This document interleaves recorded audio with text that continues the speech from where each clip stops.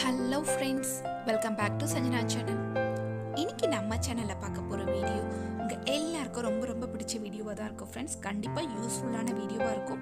So skip பண்ணாமல் பாருங்கள் இப்போ நீங்கள் பார்த்துட்ருக்க இந்த அழகான ரோஜா பூ வந்து எங்கள் வீட்டு தோட்டத்தில் இருக்கிற ரோஜா செடியிலேருந்து கட் பண்ணி வச்ச கட்டிங்ஸ்லேருந்து வளர்ந்து அதில் முட்டை விட்டு இன்னைக்கு அழகாக பூவாக பூத்து குலுங்குது.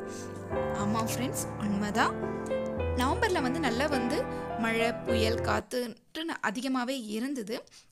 ஸோ அதெல்லாம் ஓரளவுக்கு கண்ட்ரோல் ஆகிற ஸ்டேஜில் வந்து மாடிக்கு போய் பார்த்தப்ப உரம்லாம் கொடுக்கலாம் பெஸ்டிசைட்ஸ்லாம் போடலான்னு பார்த்தப்ப சாப் ஃபங்கசைட் வந்து ஒரு பக்கம் கொடுத்துட்ருக்காங்க.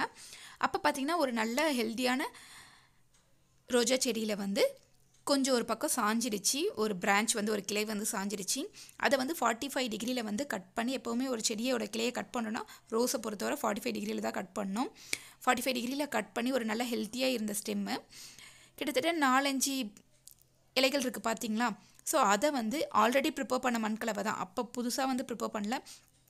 ஆல்ரெடி ப்ரிப்பேர் பண்ணி வச்சுருந்த seventy five percentage gardening soil twenty five percentage வந்து கம்போசிட் அதுக்கப்புறம் கோட் மேன்யூர் கவு மேன்யூர் இதெல்லாம் போட்டு ஆல்ரெடி மிக்ஸ் பண்ணி வச்சுருந்த மண்கலவையிலேயே வந்து அந்த கட்டிங்ஸ் இந்த செடியிலேருந்து எடுத்த கட்டிங்ஸை வந்து ஜஸ்ட் அப்படியே தான் நட்டு வச்சுட்டாங்க. நான் நட்டு வைக்கும் போது சாரி வீடியோ எடுக்க மிஸ் பண்ணிட்டேன். உங்களுக்கே பார்த்தா தெரியும்.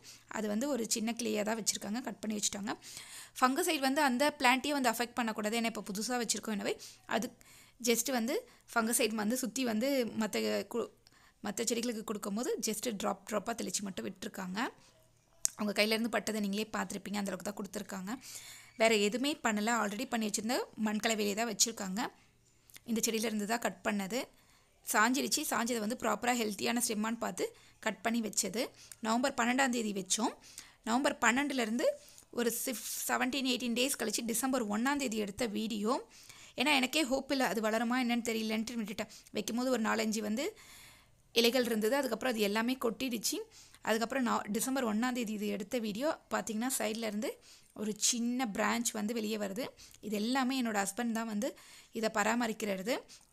இந்த வீடியோ ஷூட் பண்ணது எல்லாமே அவங்க தான். பார்த்திங்களா ஒரு நல்ல கிளை வர ஆரம்பிச்சிடுச்சு நவம்பர் பன்னெண்டு வச்சோம். அதுக்கப்புறம் இருக்கிற இலையெல்லாம் கொட்ட ஆரம்பிச்சிது. அது உண்மையாகவே நல்ல மண்ணாக இருக்கவே அந்த செடி ஆல்ரெடி அது வளர்ந்த செடி வந்து நல்ல சத்து ஊட்ட ஊட்டச்சத்தோடு வளர்ந்தவே அந்த ஸ்டெம்மை கட் பண்ணி வச்சது. நல்லாவே வளர்ந்துருக்கு. இதில் தேன் ஹார்மோன் எதுவுமே கொடுக்கல. இப்போ பார்த்துட்ருக்கிற இந்த எக்ஸ்ட்ரா கிளைகள்லாம் இருக்கிறது பார்த்திங்கன்னா டிசம்பர் பதினொன்றாம் தேதி எடுத்த வீடியோ. ஸோ அப்போ வந்து கிளை கொஞ்சம் ஸ்டார்ட் ஆச்சு. அதுக்கப்புறம் கொஞ்சம் வளர ஆரம்பிச்சிது. இது டிசம்பர் பதினொன்று எடுத்தது. நவம்பர் பன்னெண்டாம் தேதி வந்து செடியை வச்சோம். டிசம்பர் பதினொன்றாந்தேதி கொஞ்சம் வந்து உங்களுக்கு நெக்ஸ்ட் ஸ்டேஜுக்கு வந்து வளர ஆரம்பிச்சிது. கிளைகள் வர ஆரம்பிச்சிது. மண்ணை வந்து நம்ம கலரி கலரி விட்டுட்டே இருக்கணும். அப்போ தான் அந்த மண்ணில் இருக்க சத்து வந்து செடி வந்து அப்சர்வ் பண்ணும். மண் வந்து அப்படியே உளுத்தமாக இருக்கணும். தண்ணி ஊற்றினா அப்படியே அப்சர்வ் பண்ணுற மாதிரி இருக்கணும். மண் அப்படியே ஹார்டாக இருந்து தண்ணி ஊற்றினா அப்படியே மேலேயே தெங்கிட்டுலாம் இருக்கக்கூடாது. தண்ணி ஊற்றினா டக்குன்னு மண்ணை அப்சர்வ் பண்ணிவிட்டு கீழே இறங்கிடணும். ஸோ அப்படி இருந்தால் தான் அந்த செடி வந்து ஹெல்த்தியாக இருக்கும். இப்போ நீங்கள் பார்த்துட்டு இருக்கிறது டிசம்பர் பதினஞ்சு எடுத்தது. அடுத்த கிளை வந்து தெரிய ஆரம்பிக்குது.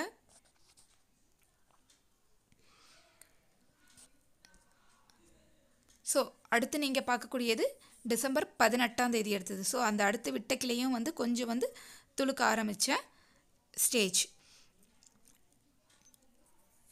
இது வந்து நீங்களும் வீட்டில் வந்து சப்போஸ் ட்ரை பண்ணுறீங்கன்னா உங்களுக்கு ஒவ்வொரு ஸ்டேஜில் எப்படி இருக்குன்ற டிஃப்ரென்ஸ் தெரியணுன்றதுக்காக தான் இந்த வீடியோ இது வந்து டிசம்பர் இருபத்தெட்டாம் தேதி எடுத்தது ஸோ கிளைகள் வந்து நிறைய வளர ஆரம்பிச்சிது. இலைகள் பார்த்தாலும் நல்லா பச்சை பசேல்னு ஹெல்த்தியாகவே இருந்தது. இதுக்கு வந்து ஃபங் எந்த ஒரு பூச்சியும் வந்து அஃபெக்ட் பண்ணக்கூடாதுன்றதுக்காக நீம் ஆயில் ஸ்ப்ரே பண்ணோம் அதுக்கப்புறம் பஞ்சகாவியா பஞ்சகாவியாவும் வந்து ஸ்ப்ரே பண்ணுவோம். சாப் ஃபங்கசைடும் வந்து ஒரு பக்கம் கொடுத்துட்ருப்போம். மண்ணை வந்து கலர் கலர்ந்து கலந்து கலந்து விட்டுகிட்டே இருப்போம். இது வந்து ஃபைனலாக பார்த்திங்கன்னா ஜான்வரி எயிட் எடுத்தது. கிட்டத்தட்ட மோர் தென் டென் டேஸ் கழித்து இந்த வீடியோ வந்து எடுத்தது.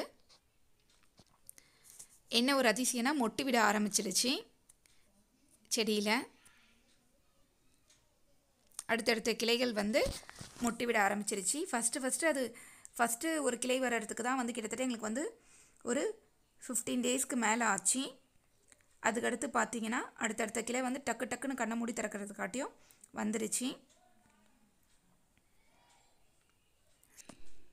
இலைகளும் நல்லா ஹெல்த்தியாகவே இருக்குது உங்களுக்கு பார்த்தாலே தெரியுது. ஸோ ஒரு இது நல்ல ஒரு க்ரோத் இருக்குது செடிக்கு தேவையான மண் கலவை செடிக்கு தேவையான உரம்லாம் ப்ராப்பராக நம்ம கொடுக்கவே உங்களுக்கு செடி வந்து இவ்வளோ சீக்கிரம் ஒரு ஃபிஃப்டி டேஸில் வந்து உங்களுக்கு மொட்டு விடுற அளவுக்கு வந்துருச்சு. இப்போ நீங்கள் இப்போ பார்த்துட்டு இருக்க மொட்டு பார்த்தீங்கன்னா ஃபஸ்ட் ஃபஸ்ட்டு ஒரு குட்டி பட்டாக இருந்தது ஜான்வரி எயித்து இது வந்து ஜான்வரி ஃபிஃப்டீன்த் எடுத்தது. கிட்டத்தட்ட அப்போத்துலேருந்து ஒன் வீக் கழித்து எடுத்தது. கொஞ்சம் வந்து அந்த பிங்க் கலரில் வந்து மொட்டு கொஞ்சம் பெருசாக இருக்குது நெக்ஸ்ட் லெவல் ஸ்டேஜ்க்கு போயிருக்கு. ஸோ அதுக்கு வந்து ஒரு ஒன் வீக் எடுத்திருக்கு. ஒரு ப்ராப்பரான ஃபெர்டிலைசர் பஞ்சகாவியம் நீம் ஆயில் இதெல்லாம் நம்ம யூஸ் பண்ணிட்டு அந்த மண்ணை வந்து கலரி கலரி விட்டுட்டே இருக்கணும். மண் வந்து அப்படியே வந்து மேலேயே இருக்கிற மாதிரி இருக்கக்கூடாது. மண் வந்து கலரி கலரி விடும்போது அந்த மண்ணில் இருக்க உரத்தை வந்து அந்த செடி வந்து அப்சர்வ் பண்ணும். மண்ணில் இருக்க சத்தை வந்து செடி வந்து அப்சர்வ் பண்ணும்.